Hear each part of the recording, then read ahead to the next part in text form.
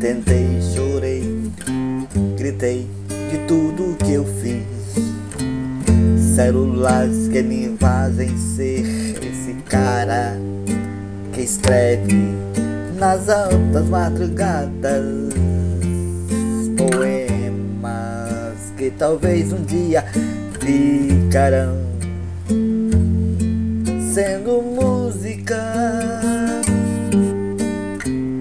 Sendo música. Ou mais algumas poesias engavetadas de alguma estante empoeirada. Tudo ficou real das mentiras plantadas que sempre escrevia na realidade que eu vivo.